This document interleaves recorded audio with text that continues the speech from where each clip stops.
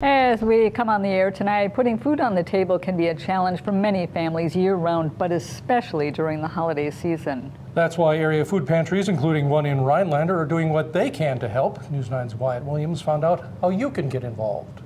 With the holidays fast approaching, it's important that all families not only stay warm this holiday season, but also have plenty of access to food. And with record demand in food pantries right now, they're asking for all the help they can get. The holiday season looks like organized chaos. So the skyrocketing demand is causing pantries to have to push out more food to people who need it. Many are seeing a major uptick in numbers already all across the Badger State. This year, we gave out 450 Thanksgiving turkeys. We normally average about 300. So the increased need that we're facing in our communities is real. Uh, we're hearing that from other food pantries in the area as well. While Giving Tuesday gives everyone a great chance to help, many say the spirit shouldn't just end because the day does. The holiday helps show people that helping the community truly does matter.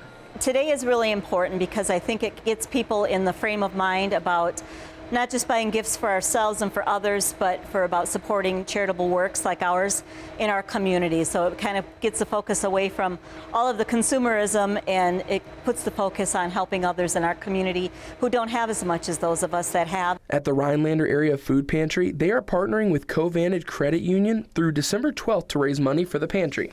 And they will be matching all donations to the organization to help get food to those that need it. So we're participating in a fundraising campaign that is a dollar to dollar match. Um, so starting today, all of the donations made to Covantage Cares Foundation at the Rhinelander branch um, or uh, highlighted to come to the Rhinelander area food pantry will be matched dollar to dollar. They've set a goal of $10,000, which matched would double to 20. Reaching that big number means a lot more people will get help this holiday season. Now, if you're wanting to help, there's plenty of options. I've been told there's many things they're needing diapers, canned goods, non perishable foods, anything like that. And barring that, cash is also accepted as well. I'll have how you can donate on our website at WAOW.com. In Wausau, Wyatt Williams, News 9, WAOW. All right, thanks, Wyatt.